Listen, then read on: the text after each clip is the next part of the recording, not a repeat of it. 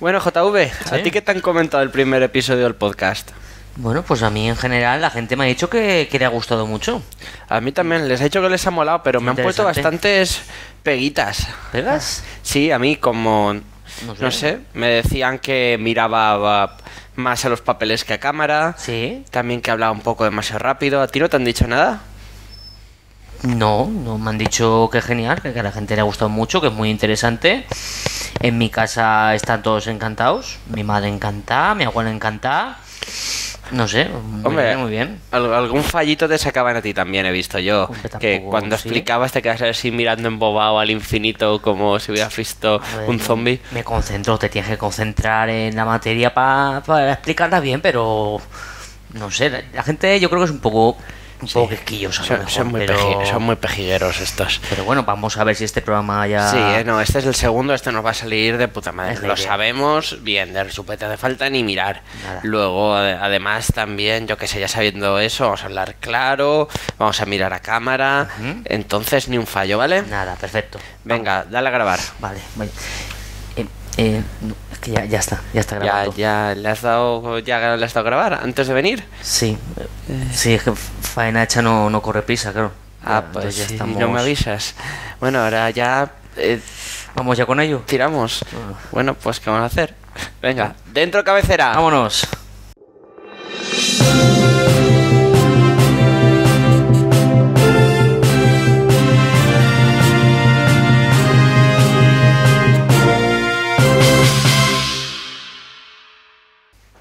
Ya estamos de vuelta y el primer tema que vamos a tratar hoy son los animales zombies. Bueno, animales zombies como tal, a ver, vamos a hablar de bacterias o vamos a hablar de parásitos que infectan animales y los controlan a su voluntad, pero eso, tanto como zombies, creo que ahí estamos un poco engañando, ¿no? A ver, si hablamos del zombie que vemos ahora en las series, en las películas, No, que es el que se muere, resucita y se quiere comer cerebros, eso no existe en la naturaleza, eso ya está dicho que no. Pero si hablamos del zombie clásico, del zombie primigenio, el que surgió en eh, Haití, el típico zombie haitiano, el cual era un ser sin voluntad, al cual le ofrecían unas sustancias o muchas veces ni siquiera llegaba a morir, simplemente iba como drogado y, y de esa manera no tenía, perdía toda su voluntad y actuaba en función de lo que le dictaba su amo o la persona que lo manipulaba. Ya, en ya, ese ya. caso sí que existe. Y en lo que hemos dicho antes de que si hablamos del zombie que creó George Romero en El Amanecer de los Muertos en película. 56, esa película que fue el inicio de su trilogía y que fue lo que ha derivado en lo que ahora conocemos como el zombie el zombie actual, el que todo el mundo conoce, pues no, ya hemos dicho que eso no. Vale, vale, pues entonces eso, ese caso sí que es, eh, es exactamente lo que los ejemplos que vamos a comentar son exactamente como eso. Sí, bueno, y te- eh, esta parte la tienes bien preparada tú, ¿no? JV, cuéntanos algún ejemplo. Tenemos algunos ejemplillos. Vamos a empezar, por ejemplo, por un caso de bacterias de la microbiota nuestra. Sí. ¿De acuerdo? Entonces, bien, la microbiota es el conjunto de, de microorganismos que habitan en nuestro organismo. Sí, son todas las pequeñas bacterias y de pe- otros seres que viven dentro de nosotros. De hecho, eh, su número es mucho mayor que el número de células que tenemos, ¿no? Algunas investigaciones eh, indican que eh, la- el ratio puede ser de 1 a 10. 10 células bacterianas en, en nuestro organismo por cada una de nuestras, de nuestras células propias. Así que sí. ¿Mm? Bien, eh, el caso es que algunas de estas, de estas bacterias, que en, concreto algunas bacterias intestinales que habitan en nuestro, en nuestro intestino, se alimentan de eh, GABA, el ácido gamma aminobutírico, que es un neurotransmisor. Bien, vamos a explicar un poco qué son los neurotransmisores. En la comunicación entre nuestras neuronas, los impulsos nerviosos que se, que se producen por la comunicación entre neuronas, pasan neurotransmisores desde el axón o parte alargada de una neurona hasta las dendritas o prolongaciones eh, más cortas que tienen en el, en el otro extremo. Ahora Chimo está haciendo un dibujillo. Para lo que nos veáis en YouTube podréis ver un pequeño esquema. Bueno, una neurona es como un sol con un rabito. El sol serían las dendritas y el rabito sería el axón. Para que eso para quien nos esté escuchando en iVoox. De esta manera, los que veáis el ejemplo podéis ver cómo eh, el axón de una neurona toca con las dendritas de la otra. Bueno, hay un pequeño espacio a través del cual se produce los, eh, la transmisión de información. Exacto, el impulso nervioso va eh, se propaga de una neurona por el axón. Del axón de una neurona, de los botones sinápticos del axón, pasan neurotransmisores que contactan con receptores que están en la dendrita de la siguiente neurona. O sea, de, la colita de una al sol de la otra. exacto. Y así se va transmitiendo el impulso mediante redes de neuronas. Entonces tenemos distintos tipos de neurotransmisores. Concretamente ahora estamos hablando del neurotransmisor GABA, que es un neurotransmisor inhibitorio entonces eh, induce que se, frenen, que se frenen estos estímulos, estos impulsos nerviosos. Entonces reduce la actividad, eh, actividad neuronal. Y ello nos lleva a unos comportamientos más tranquilos ¿vale? en las personas que pueden incluso llegar a llevar a depresión. Este, este, bueno, estos complejos lo toman incluso gente con insomnio, recetados. Claro, se, se vende eh, para, para frenar, para reducir el insomnio, ¿no? Porque al reducir nuestra actividad neuronal va a tranquilizarnos y va a ayudar a, por ejemplo, a dormir a, personas que sufren insomnio. Sin embargo, eh, tenemos ciertas bacterias de la microbiota intestinal que consumen este neurotransmisor. Entonces, las personas que tengan una mayor un mayor número de, estas, de, este tipo de bacterias tendrán una menor concentración de este neurotransmisor en su organismo. Entonces, jugando con esto, eh, el ratio, o sea, la concentración de bacterias que consume GABA y la concentración de GABA que hay en el organismo pueden inducir que una persona sea más tranquila, más nerviosa. O sea, en función de las bacterias que tengamos, pueden que seamos más felices o que estemos más tristes o más relajados o más nerviosos. Exacto, pueden influir directamente en el estado de ánimo. Este sería uno de los ejemplos, digamos, de animales zombies vistos en, por ejemplo, en nosotros mismos, pero igual que en nosotros, en otros, en otros organismos, ¿no? Puede, eh, puede influir sobre el estado de ánimo. Pero y, tenemos más... y, nuestro comportamiento, a fin de cuentas. Y también sobre el comportamiento, evidentemente. Para en lo que es influir sobre el comportamiento tenemos un ejemplo que es mucho más interesante, que es el del protozoo eh, Toxoplasma gondii. Este, este organismo infecta varios animales, infecta por ejemplo roedores, infecta también muchos animales de granja como corderos, vacas, cerdos. Y al infectar un organismo eh, se queda alojado como en quistes en la carne, en el músculo de este animal. Cuando un organismo consume a este animal, ¿vale? Por ejemplo, si infecta ratones, cuando un gato, el gato doméstico, consume, se come al ratón, el toxoplasma pasa al gato, ¿vale? También por las heces del ratón infectado o del gato infectado, todos los que puedan estar en contacto con las heces, como nosotros mismos podemos estar directa o indirectamente en contacto con heces de un gato doméstico, si tenemos un gato en casa, también podríamos infectarnos con el Toxoplasma gondii. También nos podríamos infectar a consumir carne de animales de granja que estuvieran infectados y eh, los gatos también se infectan al consumir ratones. Eh, es importante decir que el Toxoplasma, eh, Toxoplasma gondii tiene un efecto sobre el cerebro del organismo al que al que parasita. Bueno, realmente sobre el primero, sobre el del ratón, que es la primera fase larvaria. La segunda, que ya es el quiste, ya simplemente se queda enquistado en la piel. Exacto. Bueno, en, el músculo, supongo. Sí, pero antes, antes de quedarse enquistado, sí que puede tener el efecto en el cerebro del ratón, hacerle, digamos, de alguna manera, perder el miedo, perder el miedo a los depredadores, perder el miedo a los gatos. Entonces, eh, es mucho más fácil que el, gato pueda cazarlo y que el parásito pueda propagarse, pueda pasar al gato y enquistarse en, el, músculo. Claro, si en vez del ratón nada más ver un gato lejos se esconde, hay uno que sigue paseando, uy, mira, me pareció ver un lindo gatito, pues ese cae y acaba comido y entonces el parásito consigue lo que quiere, que es pasar directamente al, a su, vamos, al animal que quiere parasitar realmente, que es el gato, que es la fase final de su ciclo. Exacto. Ahí está. Y bien, nosotros también al consumir carne de, diversos animales podemos, eh, sufrir, eh, digamos, la invasión, la invasión de este parásito. Entonces, esto eh, es especialmente peligroso en, embarazadas, bueno, sobre todo en el, feto, pues puede ser letal para el feto en los primeros meses de embarazo. Y además, en general, en todas las personas puede producir cuadros de encefalitis, inflamaciones a nivel del encéfalo, a nivel cerebral, y también cuadros de esquizofrenia y agresividad. Sí, puede llegar a eso, a poner episodios que afecten eh, a tu sistema nervioso, ponerte muy alterable. Es uno de los eh, efectos secundarios que tiene este parásito sobre nuestro cuerpo. Entonces eh, se cree, lo cual es muy curioso y un poco alarmante, que en torno al 40% de la población mundial estaría o estaríamos, no lo sabemos, infectados por Toxoplasma gondii.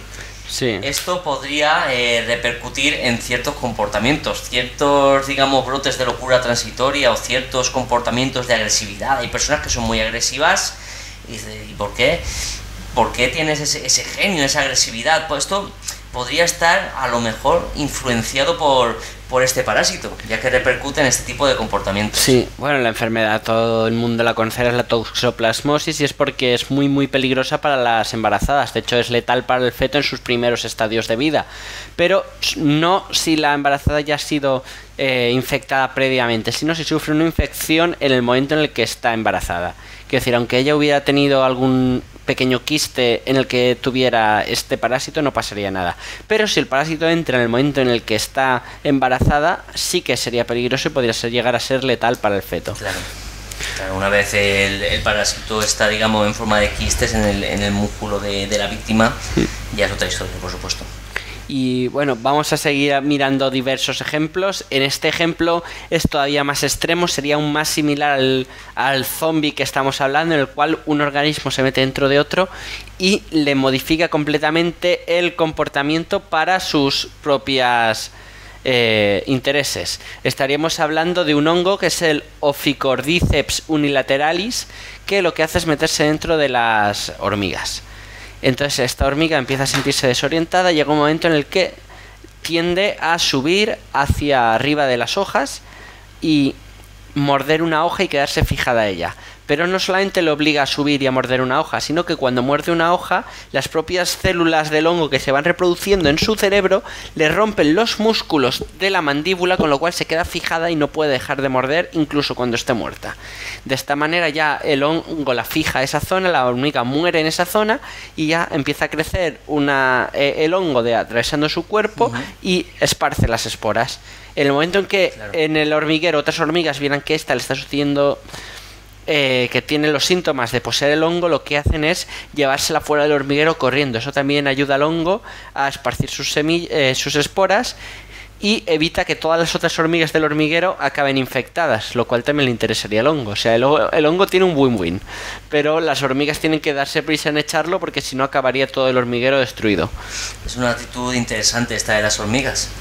Un comportamiento Sí, como, como consiguen deducir que la otra está infectada y sacarla. Pero ya estamos hablando de infectados más que de zombies. ya Es como... vale.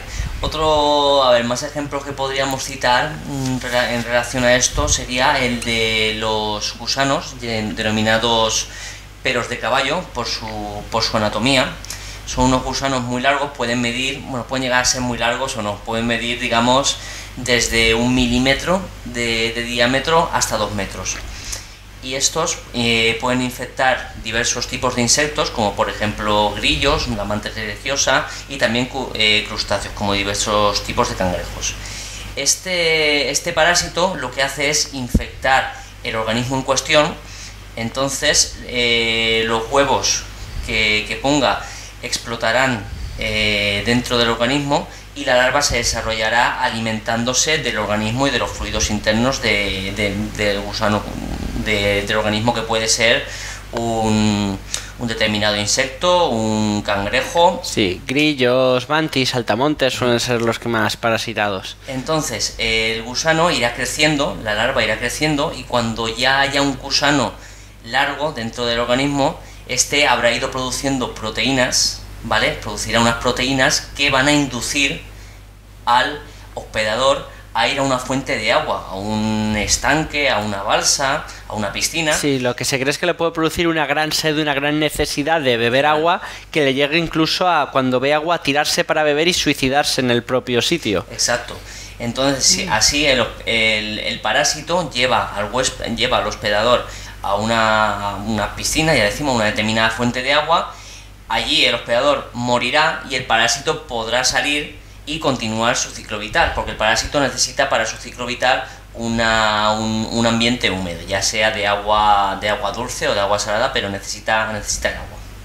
Bueno, y eh, de estos ejemplos y algunos más os colgaremos unos vídeos en nuestra página de Facebook a bordo del Beagle Podcast. Recordaros que también tenemos nuestro canal de YouTube a bordo del Beagle y nuestro canal de, bueno, nuestra cuenta de Twitter arroba Beagle Podcast en las cuales nos podréis seguir y podéis tener mucha más información que complemente este lo que estáis viendo ahora mismo. ¿Y cómo se ha tratado este tema en el cine? Bueno, hay una serie de películas, serían muchísimas, no nos podemos centrar en todas, pero quiero hablar de una serie de películas en las que tratan este tipo de zombie del cual estamos hablando.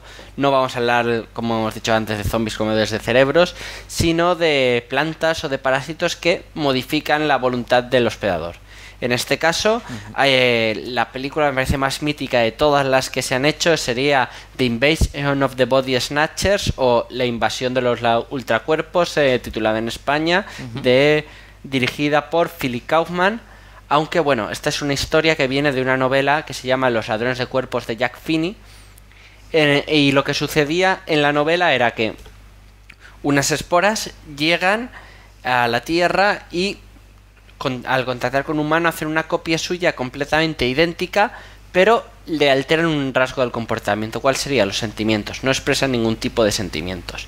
Entonces estos seres exactamente iguales a sus predecesores, eh, predecesores lo que hacen es que se dedican a infectar o a evitar, a diseminar las esporas de este hongo, bueno, de estas vainas. ¿No suena lo del hongo de la hormiga? Pues sería algo muy similar.